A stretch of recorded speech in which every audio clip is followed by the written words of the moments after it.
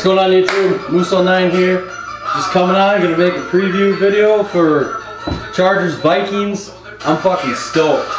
I'm stoked. I'm excited about Donovan McNabb being here.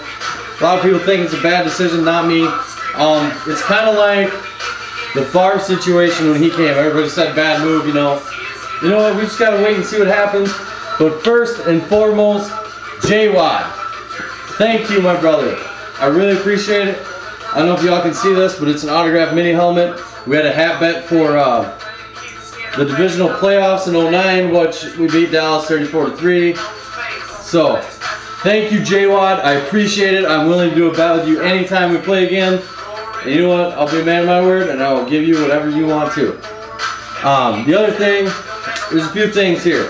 Before we get to the Charger shit, I gotta get to the Saints Packers bullshit right now. There is a Saints fan, two Saints fans, that will agree with me when I say Brett Favre is what made you guys who you are. Whether he was playing us or not. The guy was a respectable quarterback, even when he was with you guys. I have no issue with him. I was always a fan of him. I mean, obviously, you know, I hated it when he beat us, but, you know, it is what it is. But, you know what? And congrats to Green Bay on winning a Super Bowl, even though you should be kissing our ass right now. You should be kissing the rest of ass from Week seven. I mean, I'm not the only one that thinks that. Saints fans thinks that. And obviously, as you've seen on the report, the Monday after that game, they said they made a bad call. They apologized to the Minnesota Vikings.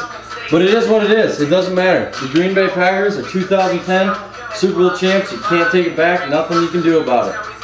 But, and you know what? Uh, Sergeant Johnny, congrats. Packers, everybody, congrats for that. But you know, the Saints you guys are out of control with this shit. You know, you guys keep bringing up how the Vikings are sucking shit, but yet you guys are the most overrated team out there besides Green Bay. Man, come on.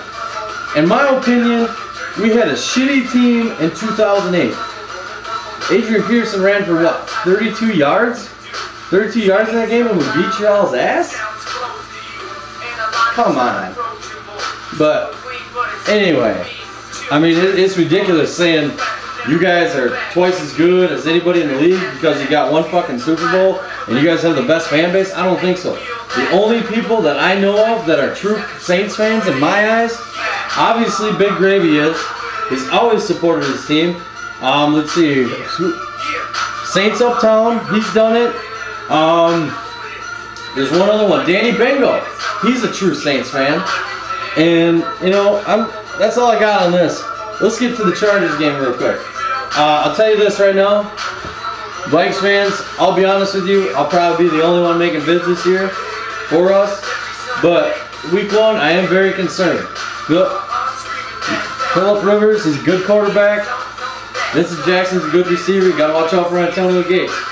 Um, the only thing they probably don't have on us is a run game which we do. And obviously, the last time we played the Chargers, uh, Adrian Peterson set a record 296 yards, 296 uh, rushing yards in one game. So that's huge. That that's huge. Um, should we go with that coming into this game? Uh, yes and no, because there's no guarantee. That's been what four years now. Um, you know, so we'll see what happens. I bet their defense have probably stepped up a little more than what they were then. They're definitely a playoff team, definitely a playoff contender. But you know what, guys? So are we. And you know what? Uh, I expect a big game. A big game. Mark my words. Bernard Berrian. I expect a huge game on him. I think he's going to be the standout on this team this year. Um, and we got Aromashodu from the Bears, and we got Michael Jenkins, Jenkins from the Falcons. I like Jenkins. I've always watched him. I've always thought he's a good player, so I'm glad we got him.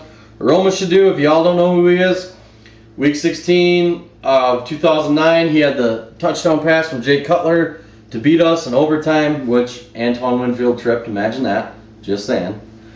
But uh, look forward to a hell of a game with the Chargers. I'm excited. It is football season. It kicks off tonight. Uh, this is the one and only time you're ever going to hear me say this. Go Saints.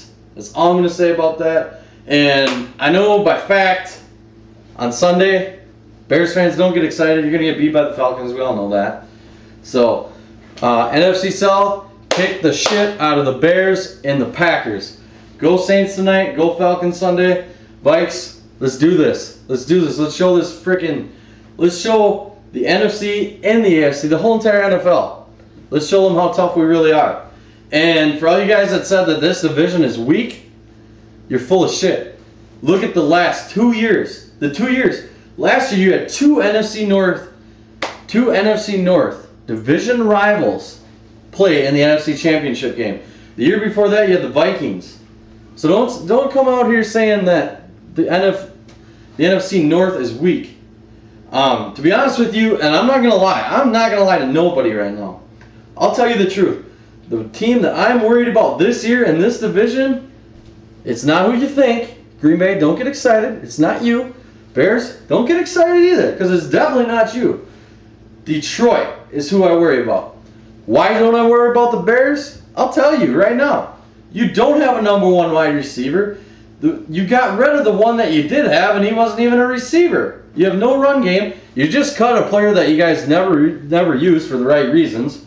If you'd have been smart about it and actually gave him the ball once in a while, he probably would have done something for you. So I hope and I pray we get Chester Taylor back because damn, that guy is good on third downs. And also, we all know Kevin Williams got suspended two games. That's another reason why we got to be worried here. But man, I tell you, I'm stoked. I'm ready to go. I'm back. I'll be here full time. I do apologize to all you guys last year for just kind of dipping out. I had some shit going on, so. But you know what? I'm back here full time. We're good the whole season, win or lose. Skol Vikes. See you guys Sunday. Let's go, baby. Woo!